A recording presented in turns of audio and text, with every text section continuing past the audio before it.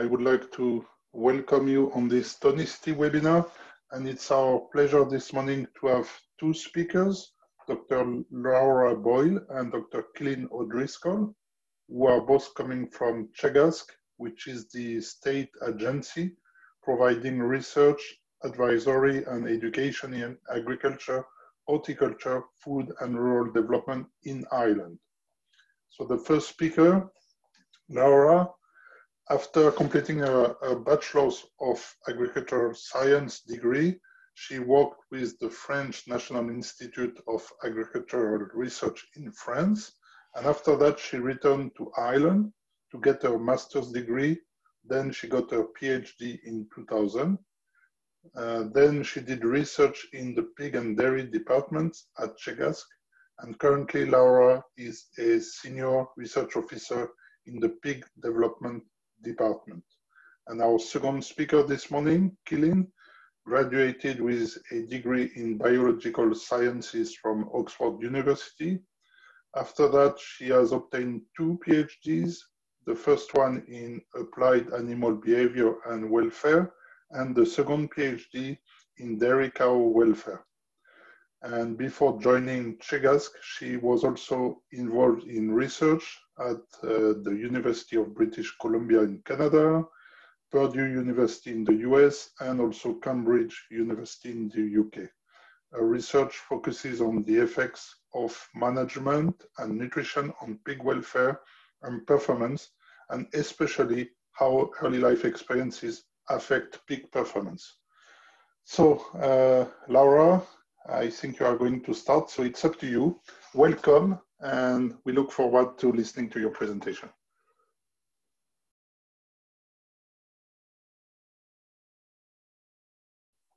Laura, you are muted. Yeah, the famous, the famous words. Sorry. Okay, is that okay, Matthew? Yes, all good. I, all good. I was muted myself. Okay, I'm good. Okay. Okay, thanks for the introduction, Matthew. Um, I'll just give you a little bit of an outline of what we're going to talk about this morning. Um, so there's actually a bit of a lag here. Um, okay, so first of all, a little bit of an introduction, go through the main causes of pre-weaning mortality and some of the risk factors. And I suppose some of these risk factors, the point we want to make throughout the talk is how um, we have some of these risk factors because of the fact that we're not really working in, in harmony, we believe, with pig, pig behavior and biology. And in contrast, then some of the solutions or some of the ways we address some of the issues with pre-weaning mortality are to start to consider working with pig behavior and biology. And we think this has been a neglected area. Obviously, it's the focus of Keelin's and, and my work. And we've seen significant benefits where we've adopted this strategy compared to more more traditional routes that that have been the focus of a lot of research in recent years. Um, in line with that, there are some some other solutions, if you like, that that are they have a lot of traction out there. They're expensive, and we feel they might be tackling the symptom and not the cause, and therefore we'd be worried about their sustainability. And we'll talk about them in the end, and have some conclusions and take-home messages. So if we think about modern pig production and the modern pig, obviously we've had huge successes um, in optimizing productivity and economic output. But this has come at a price, and the price is something we're all aware of. The, the you know the scale of production diseases in pigs, um, issues with longevity and resilience in sows, and of course the topic of this morning's talk, high pre-weaning mortality and all of this um, is coming at a, at a cost in terms of um, anti antimicrobial usage, antimicrobial resistance, which are considered major threats, possibly um, as great a threat as, as climate change, and the societal acceptability of pig production and, and, and its sustainability. And of course, the main concerns here are animal welfare and the environment. And indeed, um, if it, it, we can't have a talk, I think, any day without talking about the coronavirus and COVID. And I think this um, this is a paper that I uh, was involved with last year, where it has really also highlighted a lot of the fragilities in the production chain, and especially in the pig and poultry industries, and that's the subject of, of that paper there. So there's no doubt about it, but that we've got to do something, I think, to to address address these issues. And if we go back to, you know, the huge successes we've had in terms of breeding um, the, the modern pig, and you know pigs have been one of the first domesticated species and the domestication goes back you know thousands up to maybe six or nine thousand years ago. Um, and a lot of the focus and a lot of the changes and you can see huge changes even from the two pictures there but a lot of the focus has been a lot of the changes have been in terms of morphology carcass traits and fecundity and the historical focus of research has been on genetics and nutrition that's what i referred to in the other slide so behavioral biology has been overlooked um, until recent years. Now, it's actually been around quite a while. And Professor David Wood-Gush was one of the first applied animal ethologists, and he did a, um, some, some lovely work on pig behavior. Um, but it's really only it's really only now that, that that the science is coming into its own and the usefulness of the science in terms of addressing some of these challenges that we have with with pig production. So what David Wood-Gush's work, um, I don't know if you heard of the Edinburgh Pig Park, and what he found is that when he put domesticated pigs into this very natural setting, they very quickly reverted to behaviors similar to their to their wild ancestors, the wild boar. So um, some of these behaviors, and I just want to set the scene with some of these behaviors because they come through the rest of the talks. One of the very important ones is, is nest building. Um, and we know that sows in farrowing crates will perform nest building behavior if they're given access to substrates and access, access to space. Now, it's not really a focus of, of Keelin's and my research, but it does mention, uh, it does merit a, a, mention here because there are huge um, advantages to allowing sows to perform this nest building behavior. It reduces the duration of farrowing, which of course has huge implications for, for piglet mortality and stillbirths. It um, improves resting behavior. The sow is calmer, better milk letdown. Um, um, and the piglets actually show benefits as well after. You get optimal, better nursing behavior, better maternal behavior. And I would draw your attention to a really great paper in the recent proceedings of the IPVS, um, which is really talking a whole lot more about um, the work that Inger-Lise Andersen has done on nest building behavior and sow maternal behavior and how it could address so many of these problems, including those of pre-weaning mortality. And the other issues with pigs that we have to take account of, of course, we're all used to the, we're all aware of the social hierarchy and how pigs fight when they're mixed, but the teat order is also very important when we're talking about pre-weaning mortality because of the fact that pigs are very unusual in, in, in terms of domesticated animals in that they have armed sibling rivalry in terms of getting access to a teat and, and, and those who, as we all know, access the, the teats to the front of the sow um, are more, um, show, show greater survivability and higher growth rates. Exploratory and foraging behaviour is again something, it's in EU legislation about the need to provide substrates for, for pigs.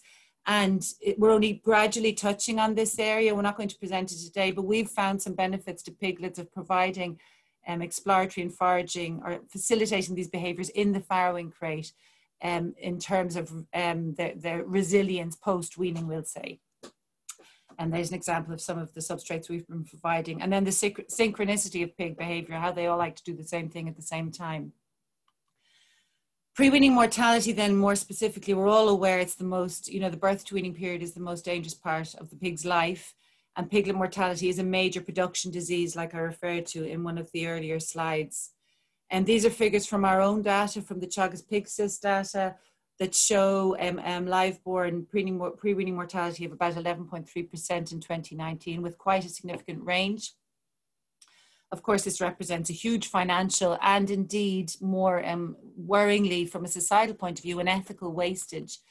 Um, we know, of course, that pre-weaning mortality increases as litter size increases, but we also know that even with these large litters, the best farms can achieve pre-weaning mortalities of in and around 6%. This is work from Sandra Edwards et al. And Sandra also produced this lovely overview of the complexity of pre-weaning mortality and how so many factors interact. And we'll just talk a little bit in more detail about now the three main causes of it. So we have crushing, poor, low viability, and starvation. So there are other causes, of course. We have disease, infectious disease. You can see um, very sick piglets there due to um, scouring. Um, and uh, savaging, you can see um, a, a, nice uh, puncture wound in this pig here from its mother. Um, a lot of the theory on that is actually that it is frustrated um, nesting and farrowing behavior contributes to this very um, abnormal behavior in pigs. And we have other conditions like splay leg and, and injuries, etc. But crushing, of course, is an intractable problem and one that farrowing crates haven't fully solved, if you like. Um, it's a major cause of pre-weaning mortality with almost 45% of live-born piglets that are killed, being killed because of crushing.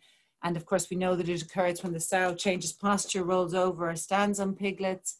And it's most prevalent in the first 72 hours after birth.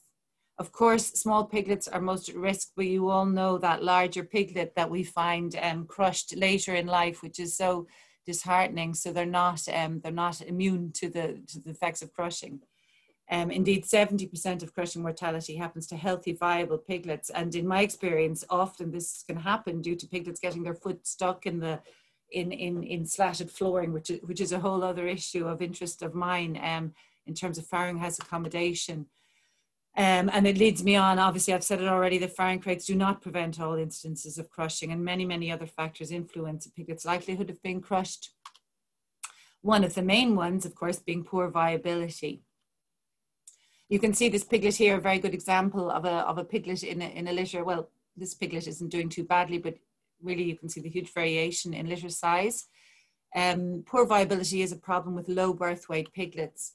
They have very low energy reserves, which means that they have very poor ability to stay warm, very poor ability to compete. That teat order that we talked about at the beginning, um, where they have to fight uh, for, for access to a teat, so therefore they get lower colostrum intake and lower milk intake. intake.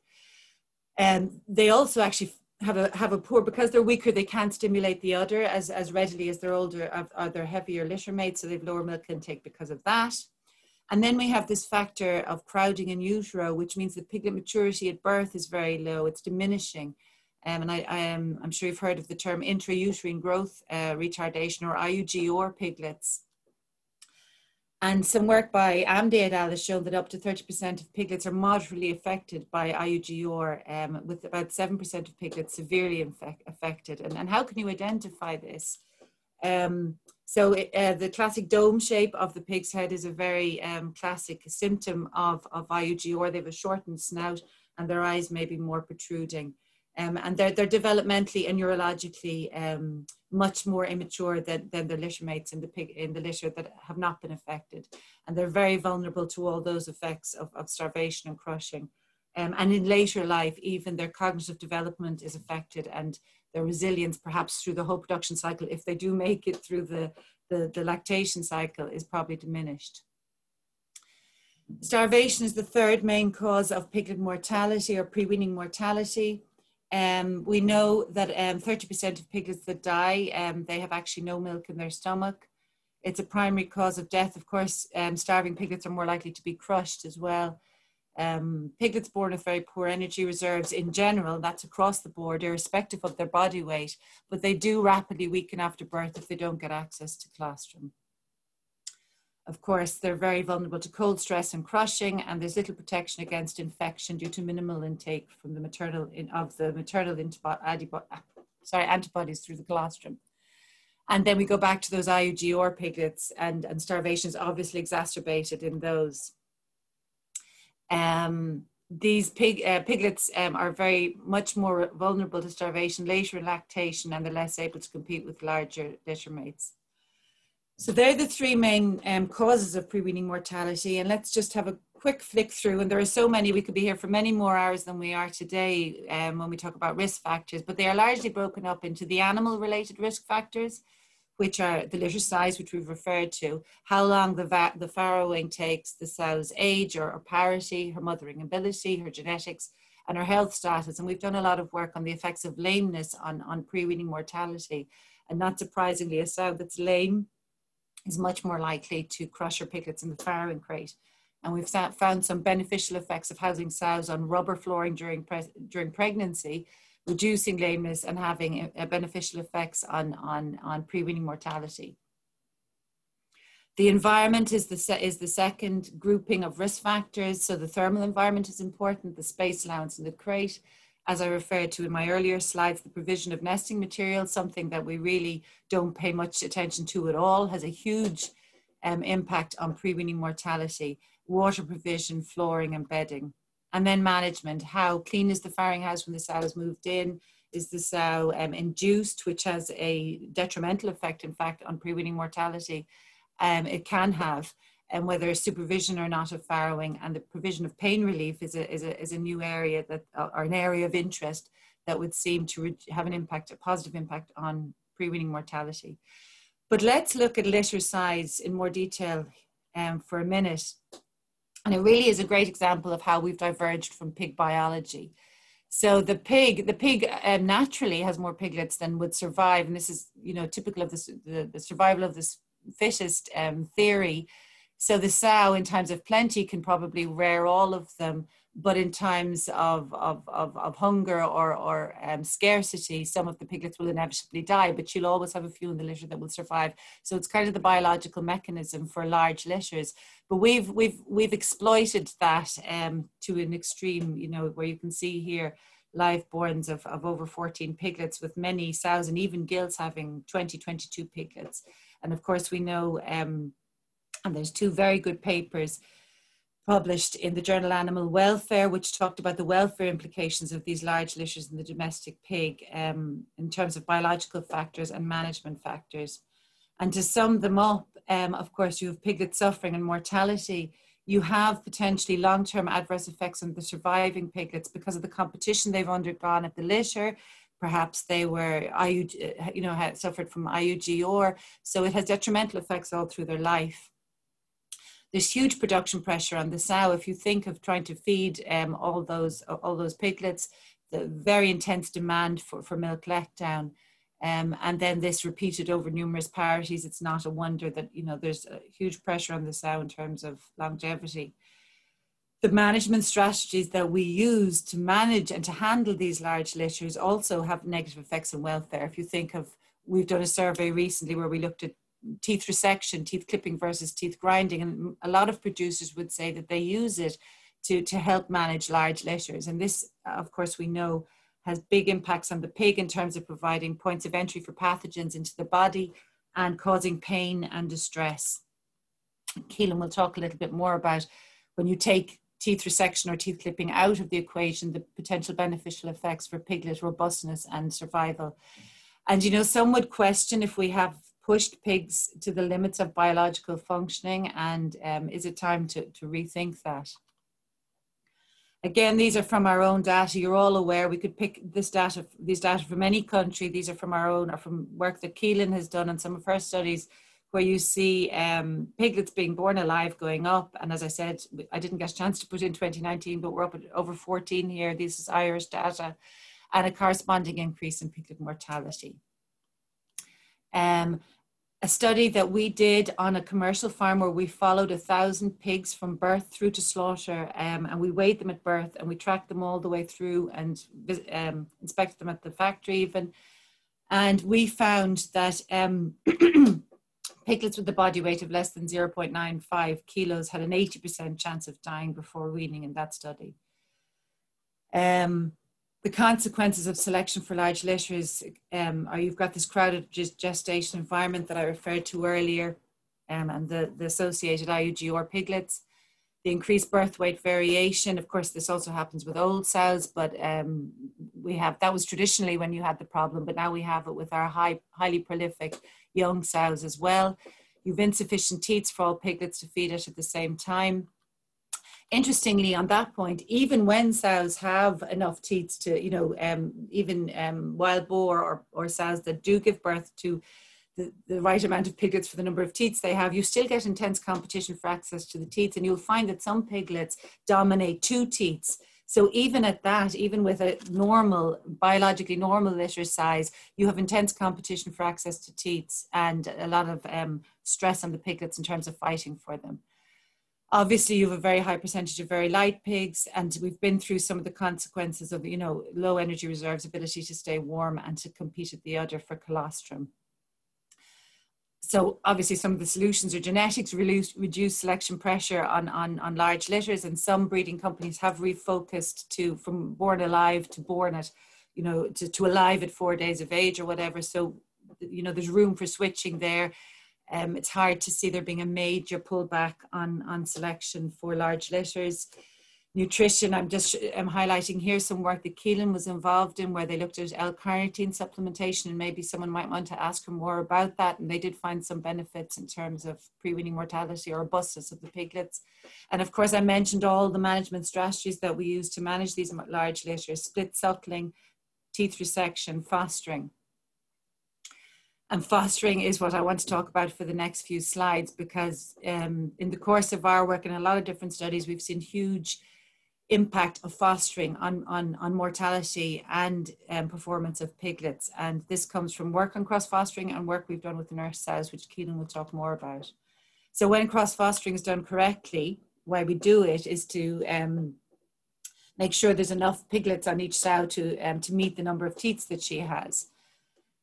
And ideally, it should be done when piglets are 12 to 24 hours of age because then they will have consumed enough colostrum from their own mother and the teat order wouldn't be fully established at this time. So the cross-fostered pigs, when they're put into a new litter, have some um, have some chance of, of gaining a teat on that foster sow.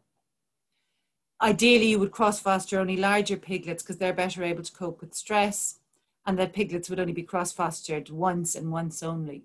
So CF I'm referring to um, is cross-fostering on some slides. But what actually happens in practice? So this was, I mentioned that study where we followed the thousand pigs from birth through to slaughter. And we tracked their, their location um, almost every week of, of their lives for the, for the course of the study. And we were able to, um, we were able to investigate um, what happened in, in the farrowing house in terms of cross fostering.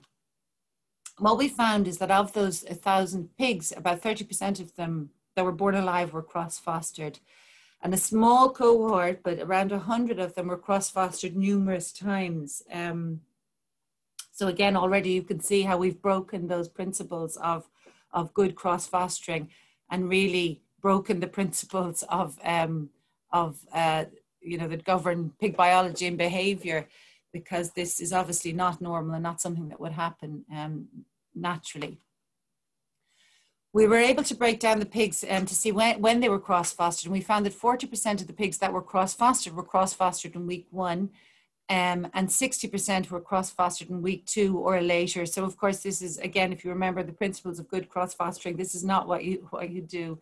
And this was one farm, one commercial farm, but this has been borne out in many of our studies that we see, we see this happening. So what you see is in, in the first week, a lot of these piglets are being cross-fostered as, as, as you're supposed to, to um, equalize uh, the litter sizes. But what we find is the piglets that are cross-fostered later are mostly because they're being cross-fostered because they're, they're small weight or they're perceived to be failing or whatever. But what's the effect of this? Well, we found that pigs that were cross-fostered in week one or week two or later had a much higher odds of dying in the pre-weaning period than pigs that were never cross-fostered. This is irrespective of, of, of their weight or, or anything. So cross-fostering simply had a detrimental effect on, on survivability to weaning, and this carried through to slaughter. And um, so the pigs that were cross-fostered in either week one or week two had a higher odds of dying all the way through to slaughter. And we also found that pigs that were cross-fostered had a greater risk of pericarditis and heart condemnations at slaughter, and they had lower carcass weight. So the detrimental effects carried all the way through. Why is this happening? Well, again, if we go back to thinking about our basic biology and behavior of the pig, cross-fostering is extremely stressful and it disturbs piglet behavior. You get the piglets spending a lot of time wandering around and um, looking for a teat, not knowing where they are, I guess, and wasting energy and you get an increase in fights that are completely unrelated to nursing, but simply the simple dominance hierarchy of the pig is when they encounter an unfamiliar animal, they will fight. And even in very young pigs, you see this. And then, of course, that cross foster pig also has to fight for access to a teat. So the milk intake goes way down and the sucking is irregular, and you get continuous exposure to new pathogens. Every time it's, re- it's moved, it's being exposed to a different bunch of pathogens, and you get sickness. I guess when you see the extent of cross fostering, it's not surprising um, that um, piglets that are cross fostered experience growth retardation and are so and therefore are likely to die. And I guess an interesting question, something Keelin now is going to move on to, is does cross fostering affect bigger pigs? And and um, she's going to take over from here and carry you through the, the next few slides. Thank you very much. Thanks, Laura. Um, so yeah, Laura set up the question very nicely there. It's very easy to understand why moving pigs around, particularly smaller pigs, could have a detrimental effect on their welfare and their growth. But then a lot of the time people make the assumption or have the assumption that larger pigs are, better able to cope and, and are, are fine, I suppose, when you cross foster them. So I'm just going to talk now about a study that we did on a commercial unit and it wasn't related to cross fostering, but we were going in and weighing piglets at birth and weighing them at weaning. So we knew at weaning then if they were still with their own mother or if they'd been moved. And we had nearly 2,000 piglets, so quite a large number. And we're very surprised to find that 44% of these pigs had actually been moved from their birth mother at some stage during lactation. And this graph, we split them into quintiles then from very light, fifth of them very light piglets, then another fifth were light. We considered another fifth midweight, heavy and very heavy. And we were able to compare the weaning weights of the piglets that were fostered and not fostered within each of these quintiles. So Laura, if you can just click on. So you can see here the very light piglets. There's actually no difference in weaning weight for those piglets, whether or not they were cross-fostered during lactation. But as you move up through the heavier piglets of heavier birth weights, there's actually more and more of an effect on their weaning weight. So the heavier they were at birth, the more they lost during lactation if they'd actually been moved around to another sow. Laura, click. So we've done a, a, bit of work then on nurse sow strategies, which is another way of moving piglets around to try and optimize their welfare and performance, but is carried out in a more strategic manner than just moving piglets around during lactation if, if there's a perception that they're failing. And this work was carried out by Océane Schmitt, um, who's a PhD student of ours. And I'm not sure if you're familiar with nurse sow strategies, but basically what it is, you've got a mother sow, and when she has her piglets, there's too many of them to fit onto the udder, so there's not enough teats. So um, what you do is you look to cells that are later on in lactation to try and move some of her extra piglets onto them. So the first thing that happens is a cell that's 21 days into lactation, her piglets are weaned. So there's space made available on her udder. And then you move um, uh, an entire litter of piglets. So there's no moving of piglets between litters. The entire litter just moves onto that 21 day into lactation sow. And then when you've made space on the sow that's earlier in lactation, you can move some of the larger piglets from that mother sow onto her. So there is a bit of mixing there, but the aim is to do this within the first day, first 24 hours of life. So they, have, they can get some colostrum from their mother then they're all moved on to this new nurse sow, and at least there are enough piglets, or the, the number of piglets and teats should match. So we found, or what Océane found during her work, is that there don't seem to be too many detrimental effects when it comes to welfare and performance of the piglets and the sows when you, when you use this strategy of moving around. And I suppose one of the differences between this study and the other one I described on farm was that we really controlled um, the amount of cross fostering during lactation because the study was looking to see how piglets how piglets fared when they stayed on, whether it was their mother or nurse during that lactation. But there's always going to be some piglets that need to be moved um, if they're failing, if they're starving, or if they're ill. So when it was very tightly controlled and we only moved them for welfare reasons, we found that in this case only 13% of the piglets were actually moved or had to be taken off their sow. And the vast majority of these were actually piglets that had been born in the lightest quintile. So you can see here, um, nearly 35% of the piglets that were moved around were actually in this lightest quintile. Laura? So we looked then at the age at which these piglets were fostered. And for this very light quintile, they were moved at about 10 days of age. Whereas for all of the other piglets that were born heavier, these ones were actually moved at over two weeks of age. Laura? Um, and then we looked at the weight at which they were moved. And you can see here, the, the large pigs here are the green columns, pigs that were born um, over 1.2 kilos, and the small pigs under 1.2 kilos are the, are the blue columns. Um, so on day one, there was a significant difference, obviously, we know there was a significant difference because the small pigs were selected because they were small.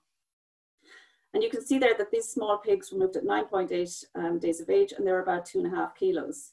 When the larger pigs removed um, at over two weeks of age, these were also about 2.5 kilos. But you can see that the rate of growth for these was obviously much lower than the small pigs. It just took them longer to be noticed that they were failing because they were actually born quite heavy.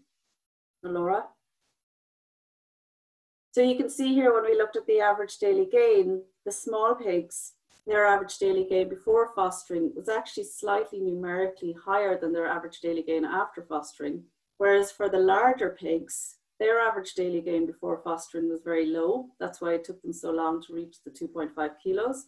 Whereas after fostering, then after they were moved onto another sow, their average daily gain actually increased. So moving them onto another sow did seem to have a beneficial effect for these ones. And then if we look at the ultimate outcome, which is piglet survival, we saw that out of the small pigs that were moved, there was only 69% survival after they moved or up to, to weaning. Whereas for the large pigs, there was a much higher percentage of piglets that survived after they were cross-fostered. So we can see this, that the cross-fostering did have a beneficial effect for those piglets that were born large, but basically did not seem to have much of a beneficial effect for those piglets that were born small. Nora? So in summary here, our findings about cross-fostering. Um, we're finding that piglets are cross-fostered long after the recommended period of within the first day, and worse still, some piglets are cross-fostered multiple times on farm. We know that cross-fostering is associated with a greater risk of death, both pre and post weaning, and this is likely caused by disease and by stress. And there doesn't seem to be a benefit of weaning weights to low birth weight piglets either when they're cross fostered, whereas the weaning weights of heavy piglets or piglets that are born heavy is actually lower when they're cross fostered. However, cross fostering does seem to be beneficial to piglets that are born of a normal weight if they are failing during lactation. So what can we do then to optimize piglet survival? So at the very least, people should try to adhere to the, to the principles of good cross-fostering. So reducing the amount of cross-fostering that's carried out and only doing it during the first day of age. Um, one thing that should be done as well is if you tag all of the very small piglets at birth, um, you'll know then later on during lactation if you see a piglet that looks like it's failing, whether it was small at birth or whether it was of a healthy weight at birth. So if you see a struggling piglet without a tag, you know that this was born healthy and there's something wrong. Piglets should also be tagged if they're cross-fostered, so then you know not to cross-foster them again. Um, so then that will, both of those practices will really help to identify low birth weight piglets and those falling behind which may benefit. And yeah, to ensure that cross-fostered piglets aren't cross-fostered more than once. So moving on then, just to talk to you a little bit about some management practices um, that we've done some work on. Um, farrowing crate we know these are these are extremely common, and about 95% of EU sows are managed in crates, um, for very good reason. They're designed to protect piglets, and they help. Um, they really help ease of management of the animals, and they they were originally introduced to lower pre-weaning mortality.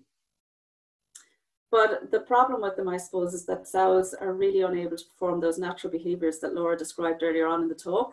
Um, and the other kind of issue at the moment is, especially in the EU, is that since 2013, um, sows are managed in group housing when they're gestating. So there's a, so the sows then are consistently they're transitioning back and forth between being confined and being loose, which could actually be perhaps more of a stressor than if they were confined all of the time, or it introduces a new type of stressor. And then finally, there's consumer concerns increasingly about the way all farm animals are managed, um, and particularly to do with sow confinement. So I suppose an intermediate solution to having the sows completely free in a pen um, could be to confine the sow at critical periods to keep piglet mortality low, particularly during the first three days, but then to leave her uh, or give her a bit more freedom at less risky periods of the lactation. So we did some work in Moorepark. This was carried out by Orla Canan, a master student. We have, these are the two styles of crate that we have in our pig facility. So one of them we call a free lactation crate. So the sow can be confined um, uh, particularly during the first three days post farrowing. And then the crate opens out and she can turn around and there's more space in the pen for the piglets as well.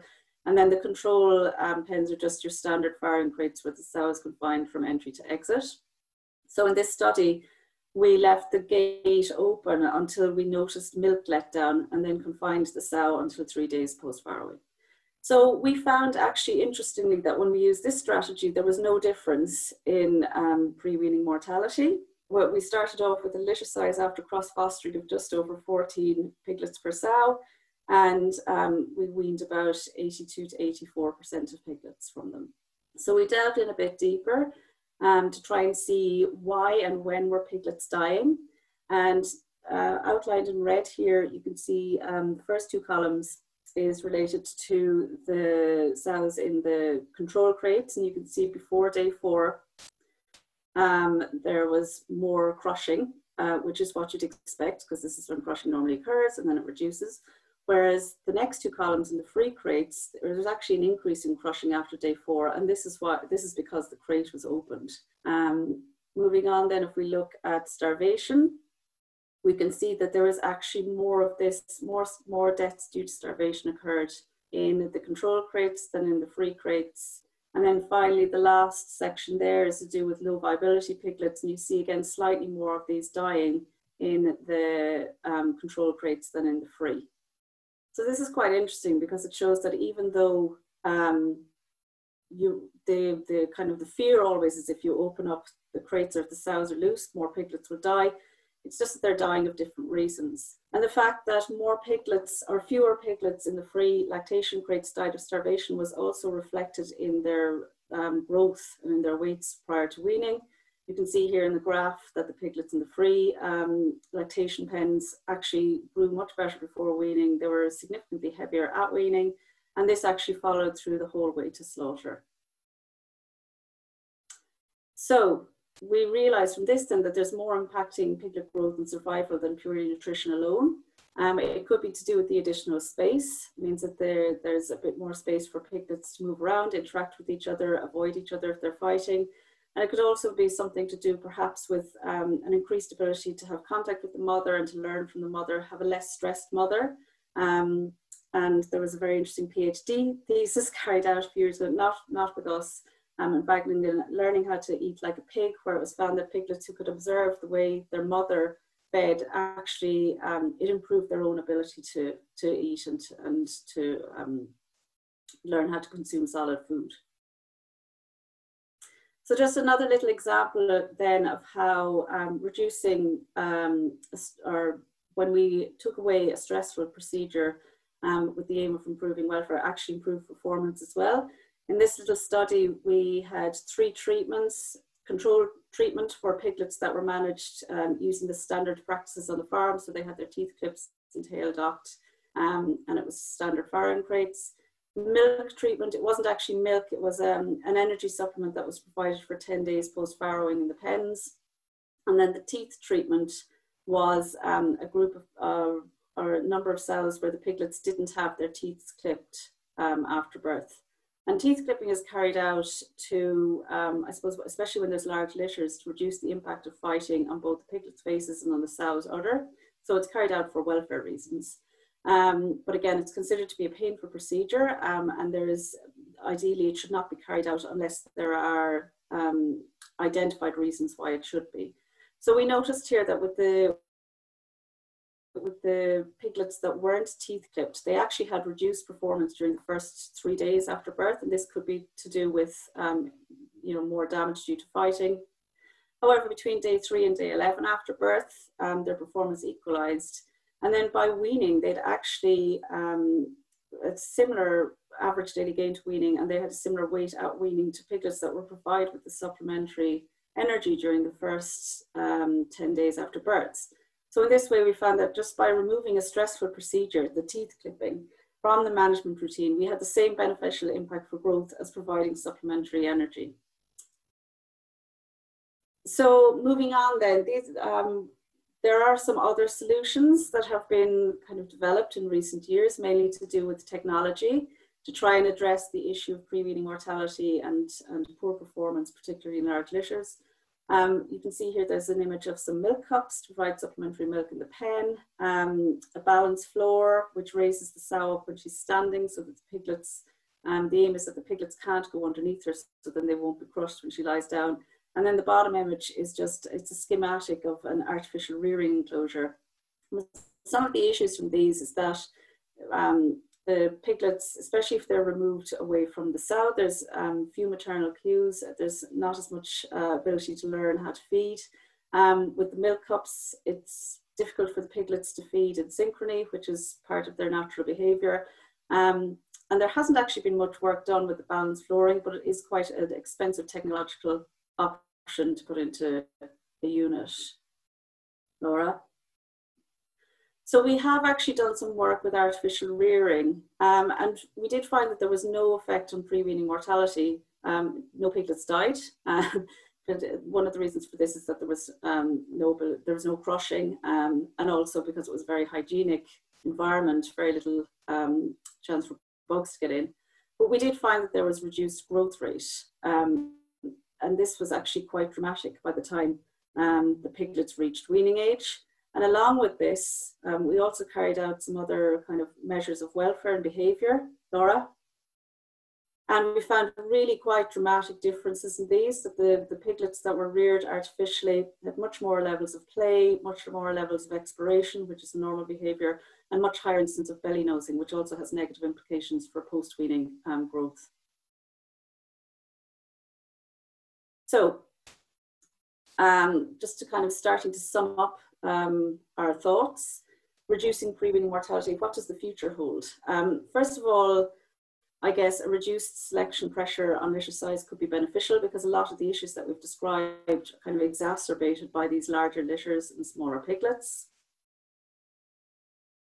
And there is a move, particularly across Europe, um, to provide more freedom to sows during lactation. Um, several countries have written this into their national strategies, um, and there is pressure from consumers as well. So this is something I think that producers may have to think about. Providing provision of nesting material to sows and enrichment to piglets. Again, there's strong moves when it comes to enforcing legislation about this across the EU. So it's something that's very, um, well, it's beneficial to the animals, but again, it's something that people may need to start thinking about how they might manage doing this and then also reducing the need for painful procedures such as teeth clipping and tail docking. So there's only so much room in the sow, and we know that as litter size increases, average piglet size will in general go down. And solutions that address the symptoms but not the cause um, of pre-weaning mortality and poor growth are maybe expensive and also maybe unsustainable. So now more than ever, um, as our litter's gotten so big, it's really crucial to manage piglets prior to weaning um, in line with their physical and behavioural needs. Um, we know that facilitating natural behaviour leads to reduced stress, improved welfare, and this in turn then should Im improve performance and decrease pre-weaning mortality. So some take-home messages um, that are really kind of geared towards being of practical use. So first of all, keeping and using accurate records about why and when piglets are dying and sow performance is really, really essential to figure out how to reduce your mortality levels. Um, provision of nesting materials to sows and drying material to piglets um, will help to keep more piglets um, born alive and then improve their viability. This obviously necessitates supervision of farrowings at the most vulnerable time of their lives. Um, identifying and caring for at-risk piglets at birth, so tagging those light ones um, ensuring piglets have continuous access to clean fresh water from birth. Um, cross fostering should not be carried out before, certainly not before 12 hours of age, and only do it once. Nurse sows we found to be um, a viable option that did not appear to have a negative effect on piglet or sow welfare. And supplementary milk sources as well do have a role to play, particularly in large litters and then minimize inductions and use only cells that are at full term. So that means, um, again, it's to do with record keeping, keeping track of the exact service dates. Also, I suppose to minimize risk of suffering and death in low birth weight piglets, try to leave them with their birth mother as much as possible unless you gather them all together and put them onto a nurse sow. Laura? So finally then, supplementation. I suppose this, this, is, this seminar is being hosted by Tonisity. Um, and they have um, developed um, a product which you will hear about later in the week. Um, you'll hear a bit more from by from Stefan Bozianu. This is a combination of key nutrients to help um, to feed the enterocytes, which are cells in small intestine. Um, and there has been a large scale meta-analysis carried out. Laura, please, next slide. Um, on uh, a huge number of piglets um, over many countries where they have found that when this product is used as a supplementary um, form of nutrition, there's 20% reduction in pre-weaning mortality. Um, so with that, I'd just like to acknowledge um, the projects and, and the people that helped us in generating all of our data or the projects that they worked on, um, the farmers and staff in the unit and on the commercial farms in Ireland that helped us, um, all the placement students, our PhD students and the slaughterhouses. And thank you very much.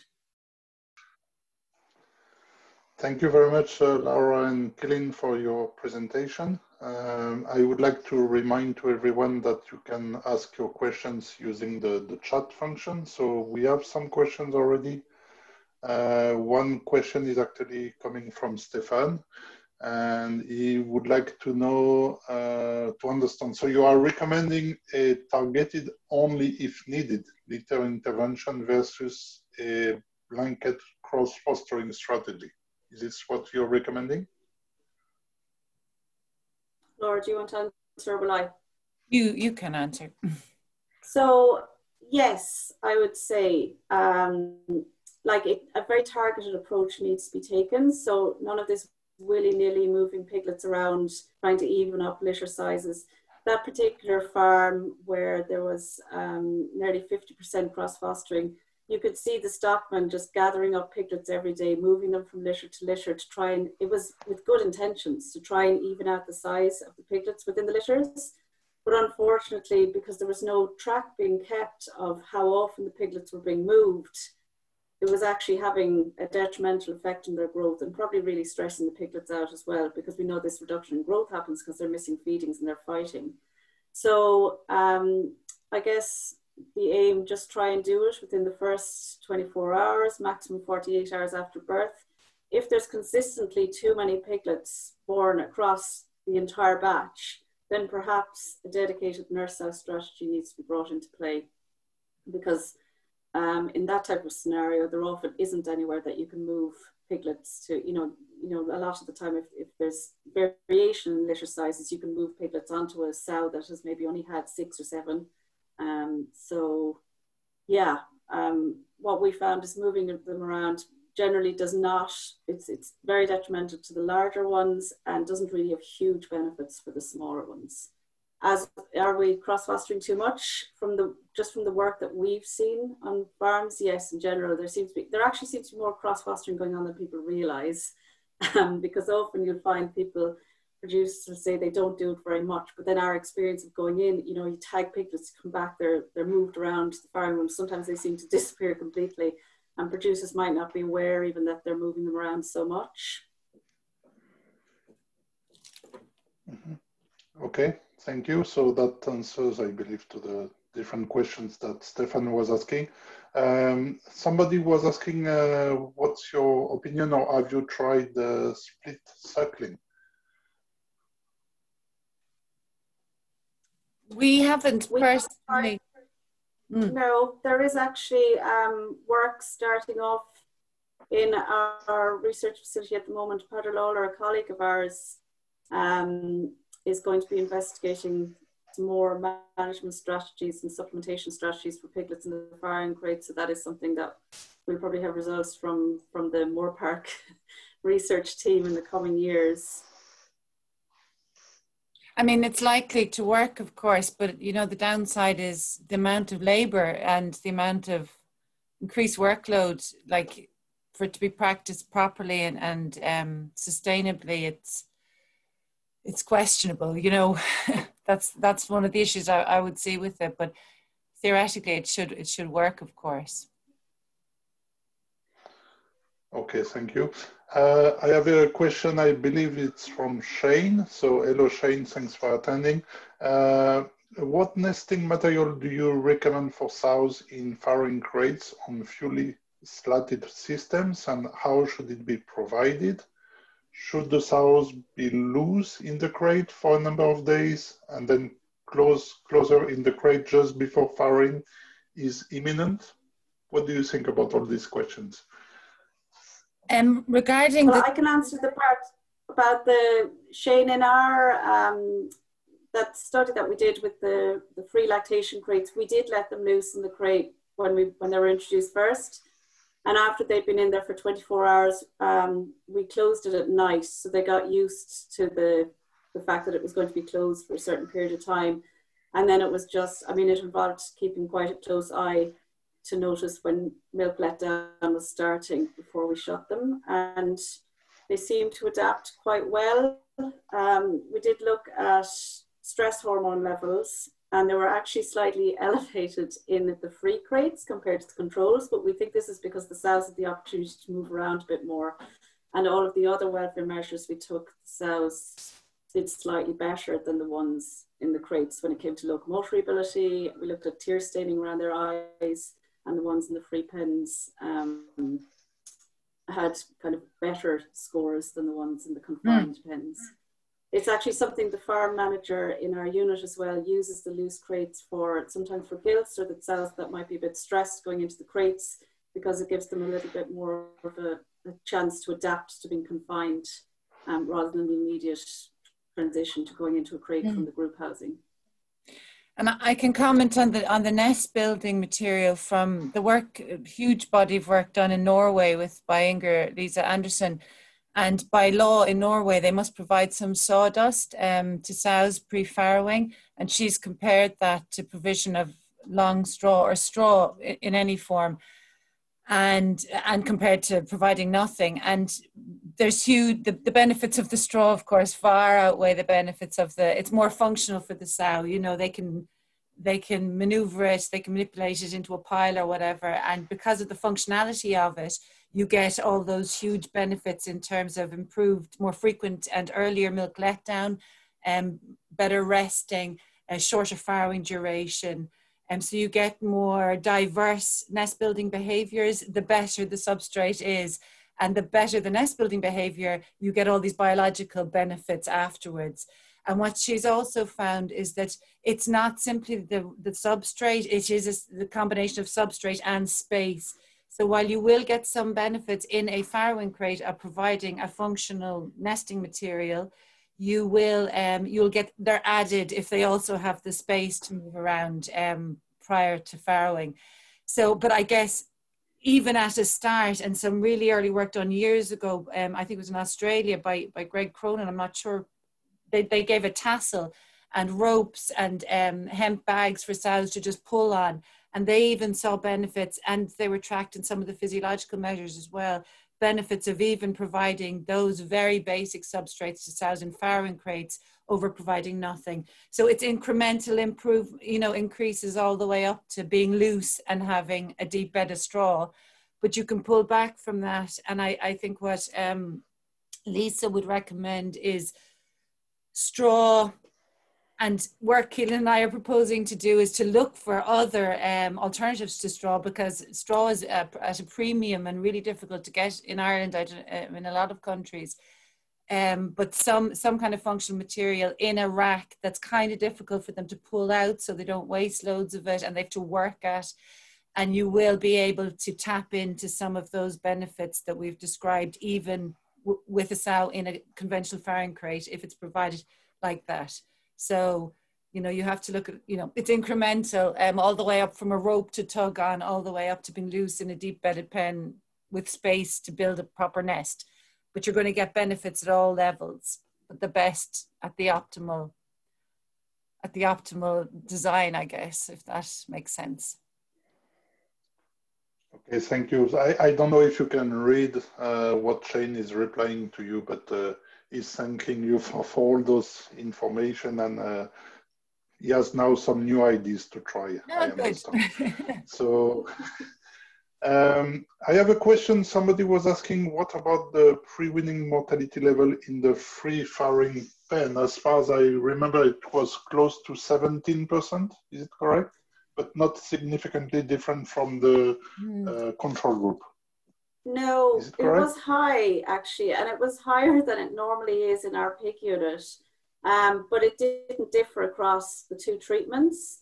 So um, it just seemed to be an anonymously high period of pre-weaning mortality in the unit, but it wasn't necessarily caused by the crates or being open. But the um, level, the, the, value was around 17%, if I'm not wrong. Uh, yeah, about 16%, which, which is actually much higher than, than the average levels in Ireland as well. Um, okay. I mean, we did, there was a good bit of crushing, but it happened in the closed crates as well as the open ones. Um, and then there was more of starvation in the closed crates. So we don't really have an answer as to why it was particularly high during that period. It just seemed to be an unfortunate period in the pig unit where mortality was higher than usual during the time that we carried out the trial.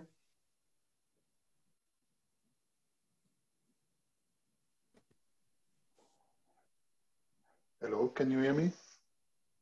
I can yep. hear you. Yep. Yeah. Okay, sorry, I, I got a connection issue.